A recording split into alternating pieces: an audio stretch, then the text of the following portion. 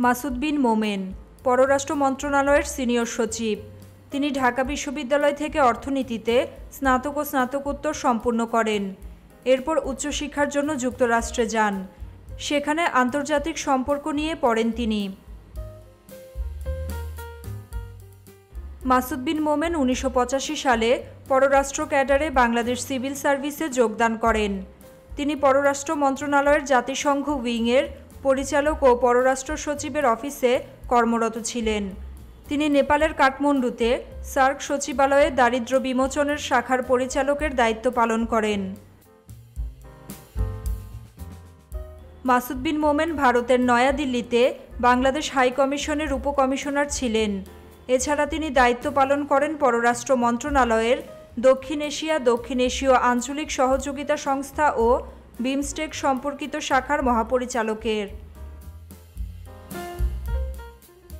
তিনি ইতালিতে বাংলাদেশের রাষ্ট্রদূত ছিলেন।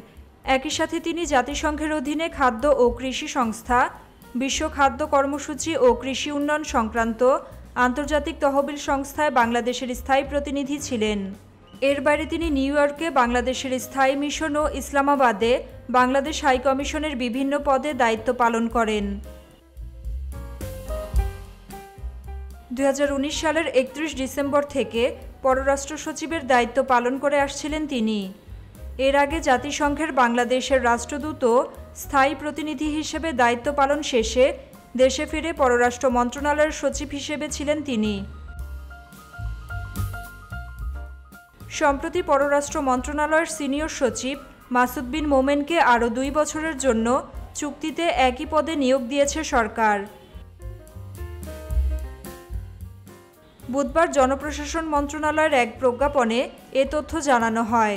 অবসরোত্তর ছুটি এবং এ সংক্রান্ত সুবিধায় স্থগিতের শর্তে এই নিয়োগ পেয়েছেন তিনি। প্রজ্ঞাপনে বলা হয়, আগামী ছয় ডিসেম্বর বা যোগদানের তারিখ থেকে দুই বছরের জন্য তার নিয়োগ কার্যকর হবে।